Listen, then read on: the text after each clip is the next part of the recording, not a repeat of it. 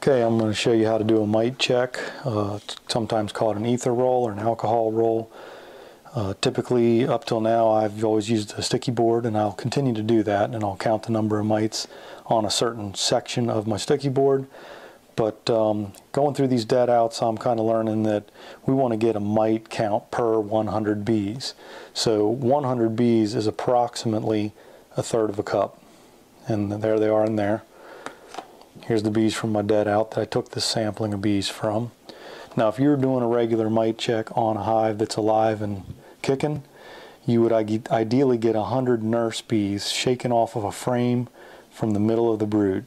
So basically remove that frame from the brood, from the brood nest and shake off about a third of a cup of bees.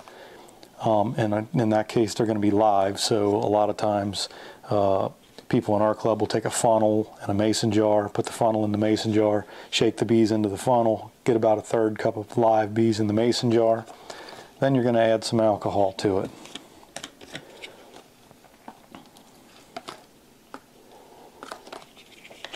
Okay, and basically the mites tend to hide up inside the crevices around the abdomen of the bee and other parts that um, they have to penetrate that outer exoskeleton to get to the hemolymph, and that's what the mites suck on.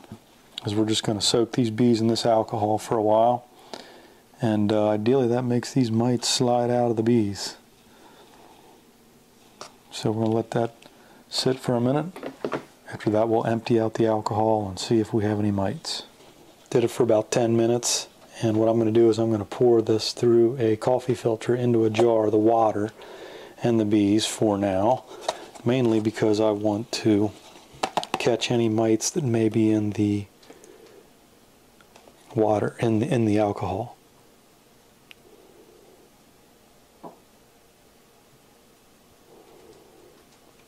Okay, and we don't need to add all the bees into the alcohol because once we get the alcohol out of them, what we can do with the bees, we'll set this aside and we'll make sure to take to count any mites that may be in this coffee filter. But now what we'll do is we'll take this eighth inch hardware cloth and we will dump the bees out of this container. And um, this is about 300 bees. I went ahead and upped the count because if we only did 100 bees, um, if you think about taking possibly 100 bees out, you know, you can get X number of mites. And then if you took another 100 bees, you get maybe a different number. So I went ahead and just took 300 bees, which is about a cup. And we want these things to kind of dry out from this alcohol and possibly drop any other mites onto this white towel.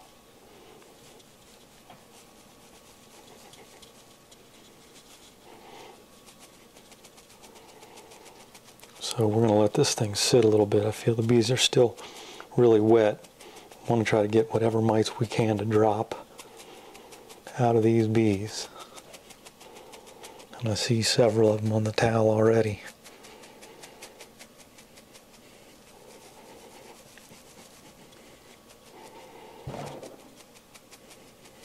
So if 10 mites per 100 bees would be a lot, 2 mites per 100 would be much better and acceptable.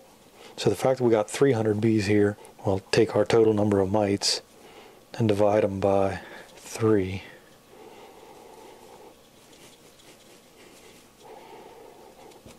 Let these sit for a minute.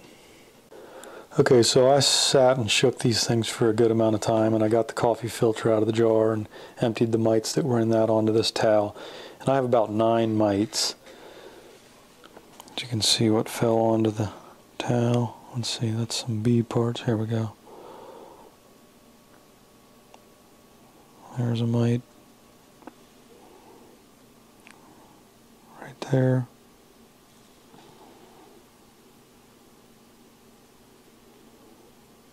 There's one. Two more.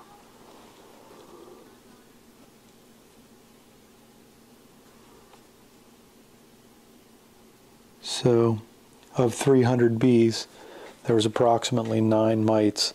So if I divide that by three, that's mites per hundred. That gives me about three mites per hundred, which, you know, again, if your populations are low, that might be a high mite count. If you got a lot of bees, then um, that might be a lower mite count. So you really the threshold kind of depends on what part of the year we're in. You know, are the bees just firing up? Um, do they have plenty of brood mid-July, or are they kind of you know, dying down as we as the queen prepares for winter? So, of these dead outs, this was a dead out that um, I'm just thinking that you know of these bees, I'm probably going to do a couple more tests with the rest of these bees to see how them numbers compare to the next trial.